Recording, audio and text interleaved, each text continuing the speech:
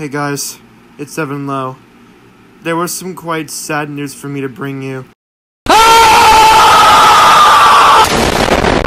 April Fools!